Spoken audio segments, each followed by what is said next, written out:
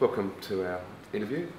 Thanks, Stu. Just tell us a little bit about um, you know yourself, your background with Skinnyfish Music, and uh, I guess the philosophy of your company as a music company. Um, well, I'm the one of the co-founders of Skinnyfish Music. Uh, we started in 1999 in uh, the Northern Territory. Our uh, total roster up until about two years ago was all Indigenous musicians. We've since signed an East Timorese artist um, in the last couple of years. So, you know, basically for the last 12 years we've been working with artists uh, largely from the Northern Territory, but not exclusively, uh, in developing uh, them and their recordings and, and uh, you know, getting, I guess, a, a, group of people who uh, have no real access to the music industry, giving them a means to, you know, access, access the music industry. Um, and of course, in the last few years, we've had incredible success with Gurrumul Yunupingu, who uh, was with Yothu Yindi and then started with Saltwater Band and now is doing his own stuff. Essentially, the, our business model is a little bit unique in that we're two white fellas and we work totally with uh, Indigenous musicians. Our, our, entire roster, as I said, without, with the exception of Ego Lemos, uh, is an Indigenous roster. There's no other record label in the country, I think, that has that, that roster. Uh, there's, you know, and a, part of the obligation, I guess, with having that roster is that we have to also have uh, what we see as a very strong community development focus. So it can't be just about the artist and about our relationship with the artist, it's also about our relationship with their community. So, you know, part of what we've set out to do is to create economic activity for those remote communities through their artists. Um, and you know, not in our wildest dreams did we ever think that we would have a success like Gurrumul's, which is now double platinum in Australia. Um, so yeah, that's pretty much it. There's myself, who knows nothing about music, and there's uh, Michael Hohnen, who's the, as we call it, the A&R department at Skinnyfish. He's a highly credentialed musician. He played with a Melbourne band, the Killjoys, back in the 80s, who had some moderate uh, success. I think were were signed to Mushroom at the time. So he, you know, he and I met in the late 90s and, um, you know, developed this idea of a record label in the Northern Territory. I know you've done a, a number of releases over the time that the record label's been running. Yeah. And I would assume that in most of those instances you're aiming for a fairly moderate level of uh, take up from yeah. the community and more often than not from the local community. Yeah. Were you prepared for the level of sales that you received and the, and the response from the wider community in the world for uh? For not at all. In fact, when we released that album, well, we actually got physical copy, copies of it in, uh, now I just have to check my dates here, but I think it was December 07. We, we got physical copies. We officially released it in February 08.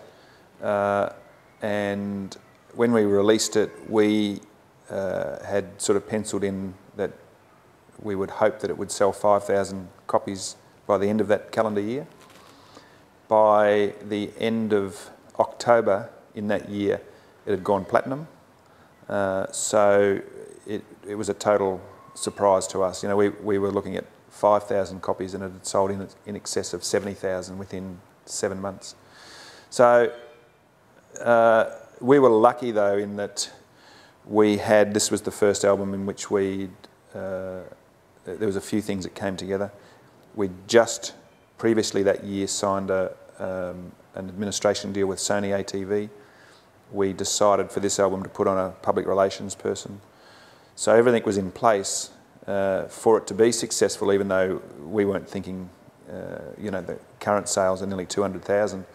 So we weren't thinking those sort of figures. We were thinking 5,000 and hopefully get some good PR off what we thought was a fantastic album. And so, yeah, we were completely taken by surprise. It was, um, and, and, you know, I still say today that, that I think uh, when you look back in 10 years' time on the history of the Australian music industry, I think that album will stand out because, uh, you know, you can correct me if I'm wrong, but I don't think there's any other album any other Australian album that hasn't been sung in English by an Indigenous artist that has been so successful.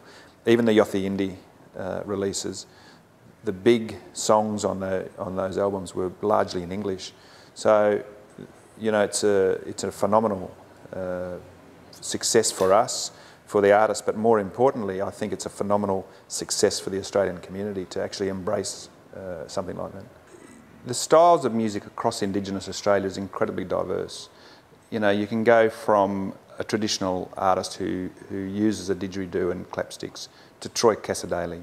So, in, and in between, there's everything. There's every style of music. I think that uh, in terms of what we try to do, and all of the artists say to us that, that in fact they want people to accept their music before they accept them as Indigenous artists. That's the, that's the thing that comes time and time and time again. They want to compete and they want to, they want their style of music to be respected along with other performers who perform the same sort of style of music. They want to be accepted as performers first. So I think uh, you know, there's some thinking, and it's been around for a while, and I know one of the, the big festivals in uh, New South Wales that happens at Easter time, and I won't, mention the festival, but they've got an Indigenous stage. Now, to me, that's the wrong way to go because it doesn't do any favours to Indigenous artists. What it says to the, all the punters, all the mainstream punters that come here, come to that festival, it says there's a stage over there that has nothing to do with quality. We're just putting it on because, oh, poor things, they won't get a go on the main stage, so let's give them a go on a side stage. And the intention is always, you know, you can't fault people's intention in, in giving any artist a go, but really it ghettoises Indigenous artists. It, it puts them in a position where the average punter says that's not good enough. It's away over there in the corner, it's hidden away, they can't get a gig on the main stage, it's not good enough. So in terms of, of you know, you're talking about uh, mainstream platforms, the music has got to got to be performed and accepted where that genre of music would normally be performed and accepted.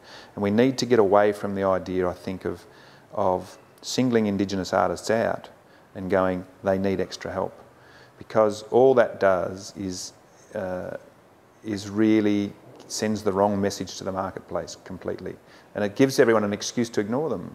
So it has the uh, you know counterproductive um, so, effect. So do you then come to BIGSOUND as an event, not only with your uh, music hat and label hat and management hat of I'm going to do something for my artists, but I guess with a, another message uh, on top of that, which is beyond just the industry blag that we talk about? Oh yeah, look, you know it's a with us, because all of our artists are Indigenous, and, and even, you know, we talk about Ego Lemos, he comes from a third world country, comes from one of the poorest countries, uh, you know, certainly in the Asia Pacific region. So we, we come to a place like BIGSOUND and we talk about our artists like any record label would talk about their artists. The, the difference is that we also talk about our social responsibility to them and their communities. We also talk about the difficulties that uh, we have, which are, uh, are directly linked with us working with Indigenous artists and them coming from remote communities. You know, Skinnyfish Music's probably the, the most isolated record label in Australia, where uh, you know closer to Asia than we are to Sydney or Melbourne or Brisbane. There's no infrastructure in uh, the Northern Territory really in terms of a music industry. So the, the issues that we have with Indigenous artists are their remoteness, is their distance from the marketplace, is, and it's the old tyranny of distance. We can't just bring a band down to do a pub gig in Brisbane, for instance. Um, and you know, a few years ago, we brought a, a, band to. Well, there were three bands from the territory that came and played for um, the Queensland Music Festival. Now, those three bands did two or three showcases, but that was a $30,000 operation to bring those three bands here. So, you know, as I say with Saltwater, you know, they're, they're a sensational band. They've sold over 30,000 albums across Northern Australia. They very rarely play outside of Northern Australia. And to, for me to get them here to Brisbane is a $20,000 travel fee, a travel cost. So no one's going to book saltwater. No one in, the, in their right mind is going to book saltwater because there's no money to be made out of them unless they've got a following.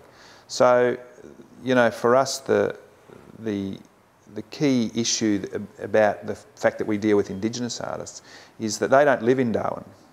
They live 500, 600, 1,000 kilometres out of Darwin. So to get them to the starting point, which is Darwin, to get to fly anywhere, there's $10,000 straight away. So, you know, that's, that's the issue, I guess, that, that you know, you can, you can put down as being the Indigenous issue, if you like, for uh, those guys that we work with.